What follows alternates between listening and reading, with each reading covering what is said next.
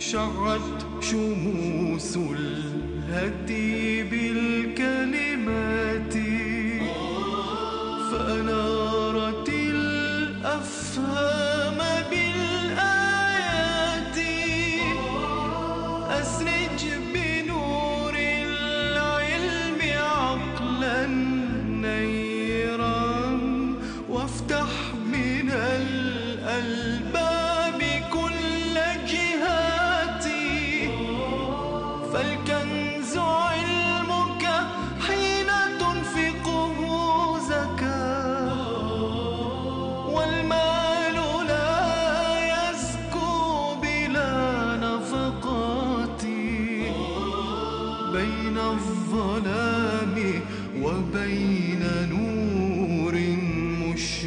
مشرق هدي ينير الدرب بالومضات. بسم الله الرحمن الرحيم. الحمد لله رب العالمين. والصلاة والسلام على محمد وآله الطيبين الطاهرين. ولعنة الله على أعدائهم أجمعين إلى يوم الدين. قال الله تعالى في كتابه الحكيم قل ما يعبأ بكم ربي لولا دعاؤكم.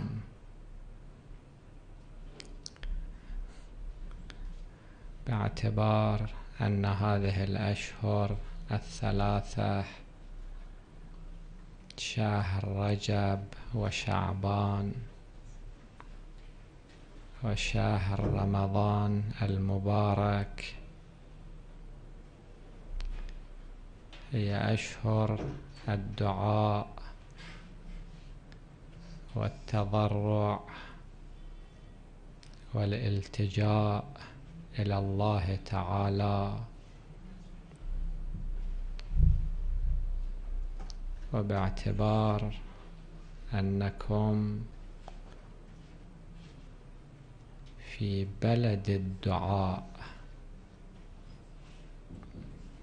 هنالك أوقات الدعاء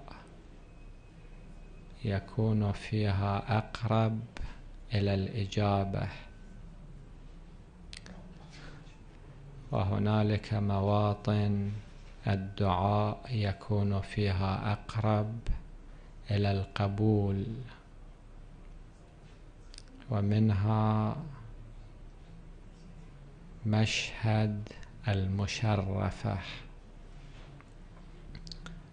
ولذلك نتحدث حديثا مجملا حول الدعاء. الدعاء يمثل حاجة فطرية في كل واحد منا نحن البشر. الدعاء نوع من أنواع الطلب. الفرد عندما يشعر بالحاجة ويشعر بالفقر ويشعر بالحرمان. فإن من الطبيعي أن يلجأ إلى القوي وإلى القادر. وحتى الطفل حين يولد في هذا العالم وهو لا يعلم شيئا كما يبدو. من معادلات هذا العالم. ولكنه يلجأ إلى البكاء عندما يشعر بالحاجة. هذا البكاء عندما تحللونه في واقعه نوع من أنواع الدعاء. هذا الطفل المحتاج يدعو بفطرته من هو أقدر منه على رفع هذه الحاجة. وهذه الحالة الفطرية تظل فينا نحن البشر إلى آخر يوم من حياتنا.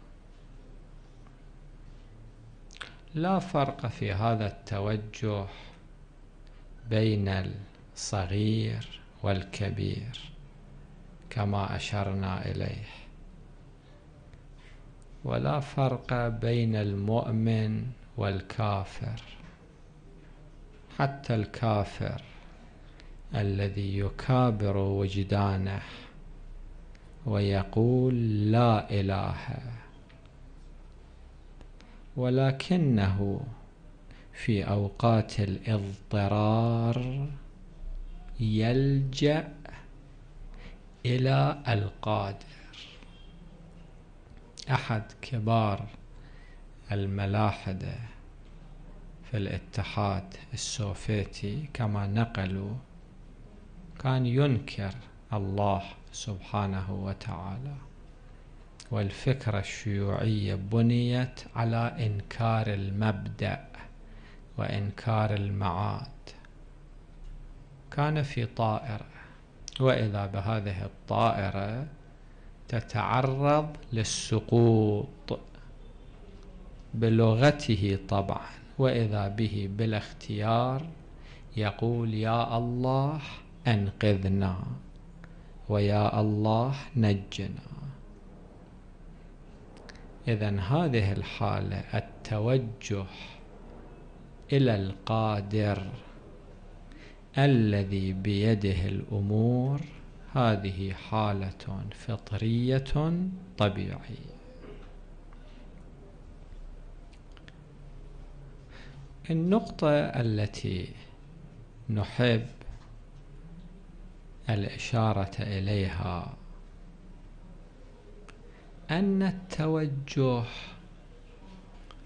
يجب أن يكون مصحوبا بحالة الانقطاع.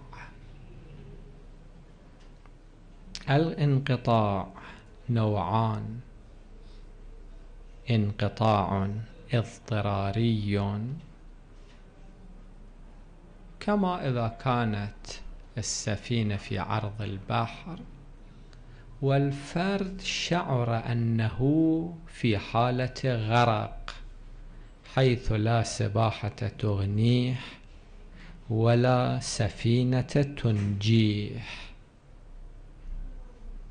في هذه الحالة ينقطع انقطاعا عجيبا إلى الله سبحانه وتعالى. ما أعلم أي واحد منكم كان في حريق منى عندما احترقت الخيام في منى قبل أعوام طويلة يمكن قبل حوالي ثلاثين عام. الأفراد كثير منهم أنا كنت حاضر في ذلك المشهد الرهيب وكنت أرى انقطاع الأفراد انقطاعا عجيبا إلى الله سبحانه.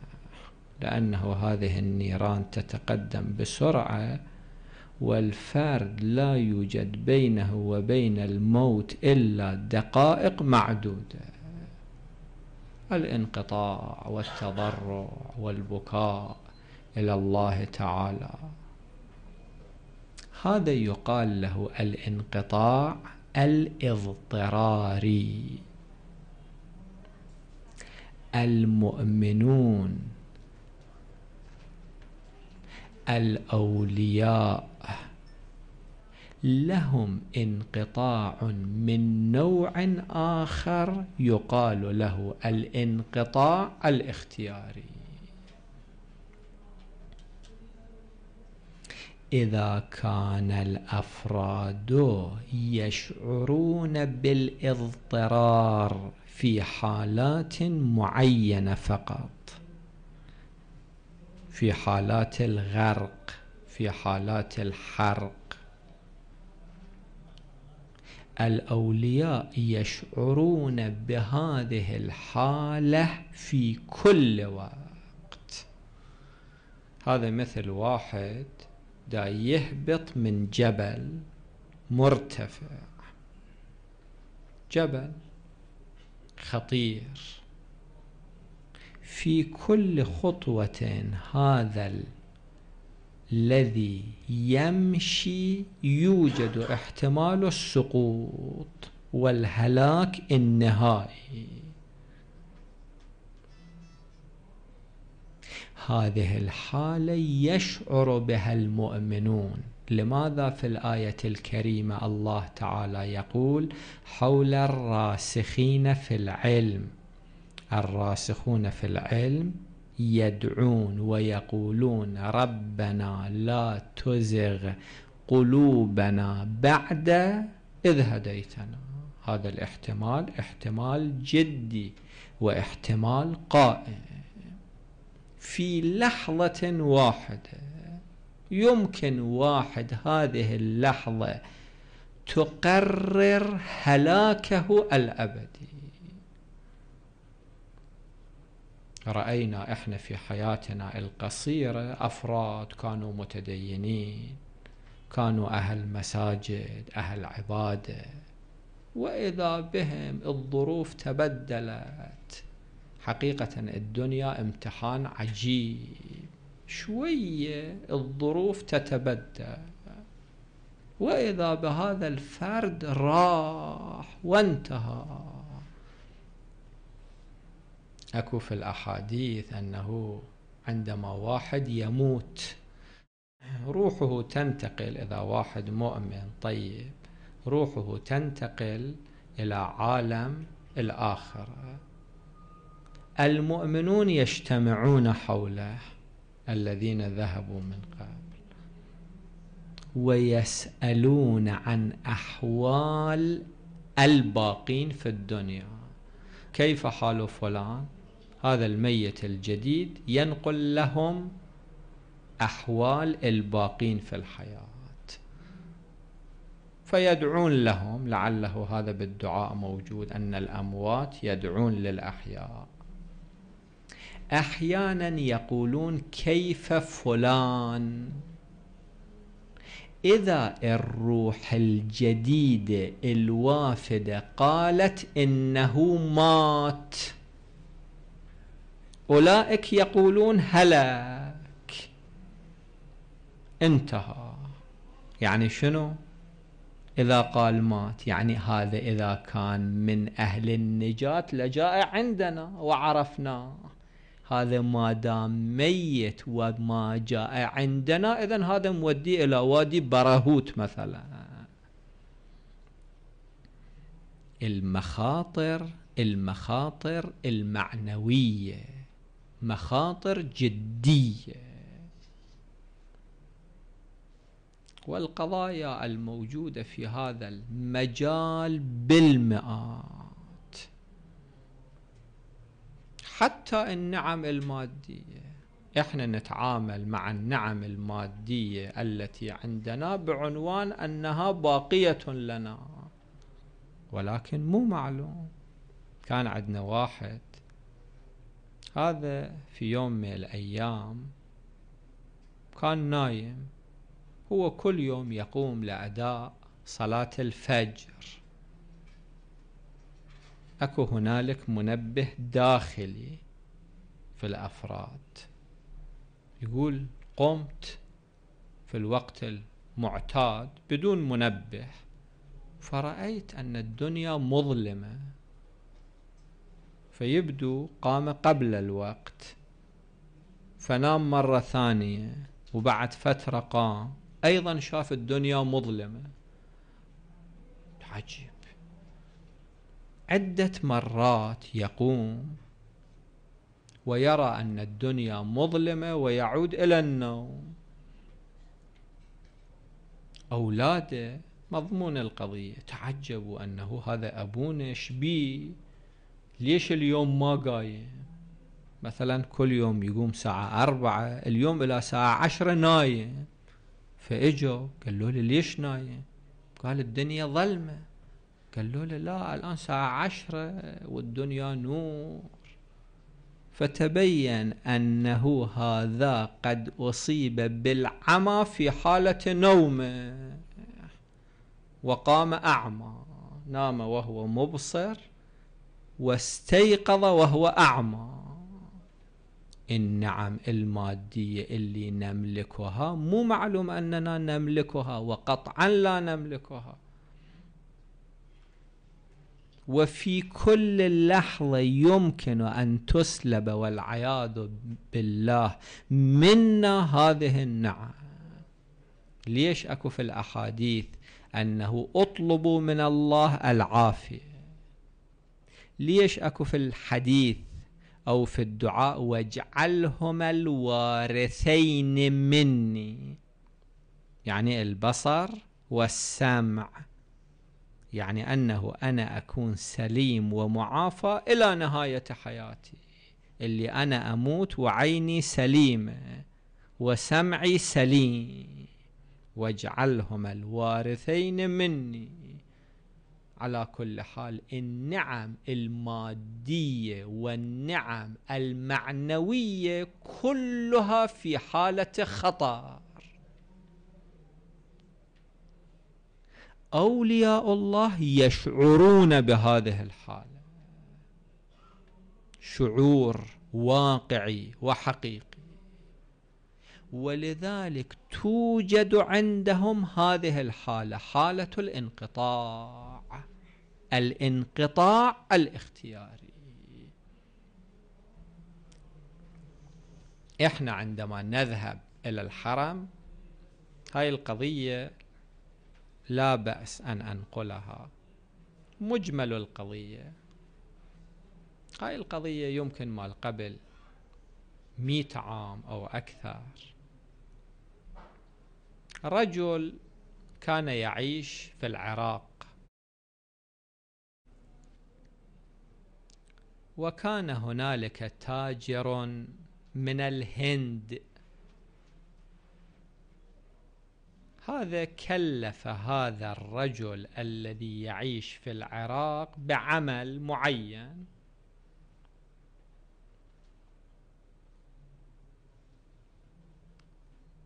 واتفق معه إذا أنهى هذا العمل أن يعطيه مكافأة. بعد فترة هذا الرجل اللي يعيش في العراق أنهى ذلك العمل.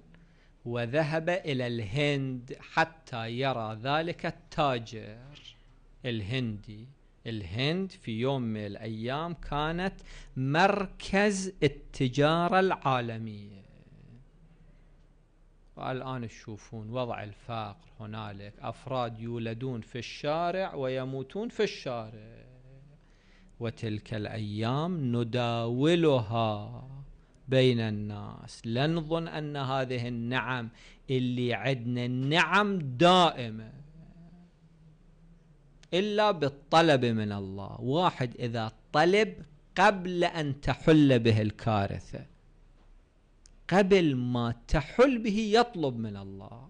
يطلب ويطلب ويلح الله تعالى يبعد عنه ما حذر منه بإذنه تعالى.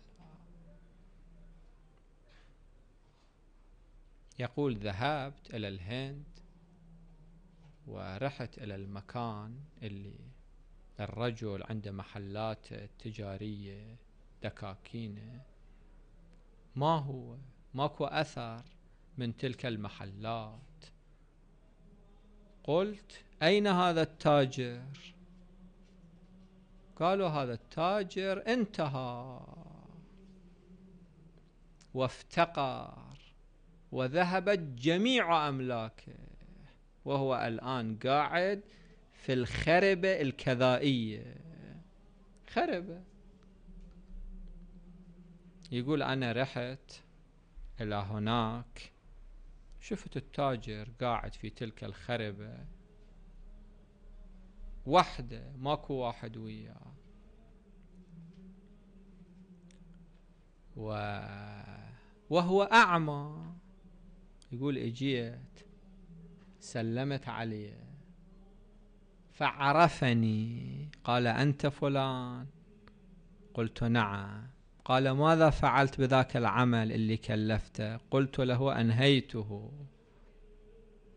ولكن ما هو وضعك شنو؟ قال أنا في يوم من الأيام كنت في دكاني في محلي التجاري. فخطرت في ذهني هذه الآية إنما أمره إذا أراد شيئا أن يقول له كن فيكون. خطرت في بالي هاي الآية. ففكرت ممكن. أنا الآن تاجر كبير. الله يمكن بكلمة كن يغير وضعي. هذا الشك اجى في ذهني. الله أحيانا يؤدب عباده المؤمنين تأديب. حتى هذا الخطور ما ينبغي أن يخطر في باله. الله بيده كل شيء. الله كلمة كن ما يحتاج. نقرأ في الدعاء فهي بمشيتك دون قولك مؤتمرة. الله كن ما يحتاج. يقول بمجرد ما فكرت هذا التفكير وإذا بواحد يأتي إلي مسرعا ويقول بيتك دا يحترق حريق في البيت فيقول ركضت ورأيت النار مشبوبة في بيتي وقد قضت على بيتي. المهم أولادي أطفالي عائلتي. يقول أنا طفرت داخل النار حتى أروح أنقذ جماعة منهم فلم أتمكن من ذلك إطلاقا. وعندما أردت أن أخرج اصطدمت اصطدم وجهي بمكان حالة هلع وخوف وما أشبه. وإذا بشيء يدخل في عيني اصطدام بالجدار. فعميت عيناي. القصر راح الأولاد راحوا العائلة كلها راحت والعينان ذهبتا. واحد بلا عين خو ما يتمكن يدير. يقول الناس عندما سمعوا بذلك هاي القضية أكو تجارب مكررة عليها. إذا واحد ضعف تتبين حقيقة الناس اللي ما عندهم إيمان. الناس هجموا على محلاتي ونهبوها جميعا. وأنا الآن هنا كل شيء ما عندي. ولكن هذا الخاتم موجود في يدي أو كان مخبئ في مكان. مكافأة ذاك العمل اللي قلت لك. أخذ هذا الخاتم.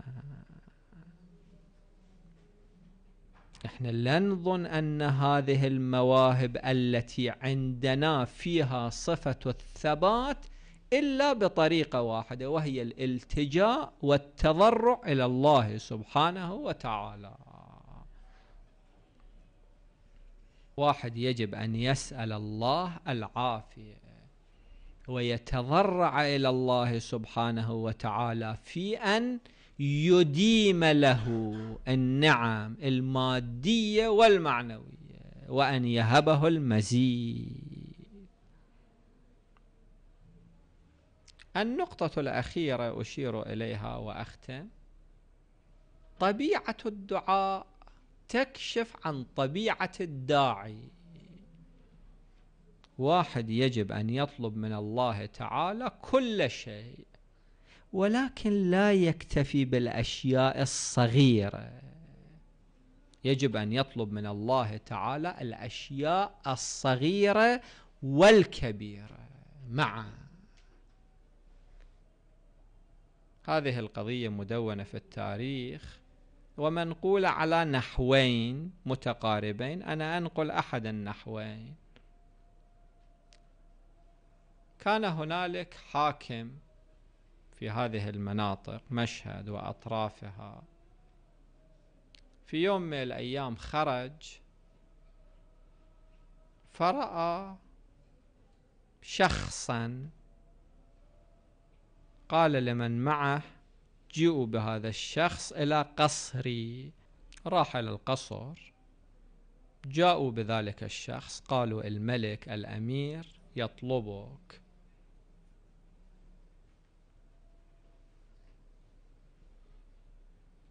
فعندما جاءوا به قال أنا عندي قضية مع هذا الشخص. أنا في أيام شبابي ذهبت إلى حرم الإمام الرضا صلوات الله عليه. هذا كان عندي كان يدعو من الله. شنو طلب من الله ببركة الإمام الرضا؟ يستشفع بالإمام الرضا إلى الله تعالى. ليش؟ هاي الحاجة اللي تلح على ذهنه. الآن إذا واحد يجي عندنا يقول لنا الإمام الحجة عجل الله تعالى فرجه يقول شنو حاجتكم؟ فورا نقول شنو الشيء اللي يلح على ذهننا ذاك نقوله. وعادة الأشياء اللي تلح على ذهننا أشياء متواضعة. أنا بيت ما عندي أريد بيت. هذا هو. فكان يطلب من الله تعالى مركوبا مركوب. الملك قال الأمير أعطوه كل أنواع المركوب. شنو أنواع المركوب؟ أعطوها جميعها لا. أحب أن تكون إجابة دعائه على يدي. فأعطوه جميع أنواع المركوب. قال ولكن بيني وبينه شيء. وهذا الشيء هذا عندما كان يطلب من الله بشفاعة الإمام الرضا صلوات الله عليه مركوب أنا كنت أطلب من الله تعالى ملك خراسان خراسان القديمة كبيرة كانت. هذا شافد واحد يمد يطلب من الله ملك خراسان. نظر إليه شافد واحد عليه ثياب رثة بالية. فقال لي مثلك يطلب ملك خراسان. وضربني برجله. يطلب مركوبا يعطى ذلك. واحد يأتي إلى الإمام الرضا صلوات الله عليه ويطلب ملك خراسان يعطى ذلك. واحد يأتي إلى الإمام الرضا ويطلب الدنيا والآخرة أيضا يعطى ذلك. إن شاء الله حاولوا أن تطلبوا من الإمام الرضا في هذا الشهر العظيم. الدنيا والآخرة والحاجات الشخصية والاجتماعية. والإمام الرضا صلوات الله عليه كريم جدا. كرمه شعبة من كرم الله سبحانه وتعالى. ندعو الله تعالى أن تأخذوا من هذا الإمام الرؤوف ما تؤملون وفوق ما تؤملون. وصلى الله على محمد وآله الطاهرين. شعت شموس الهدي بالكلمات فأنارت الأفهام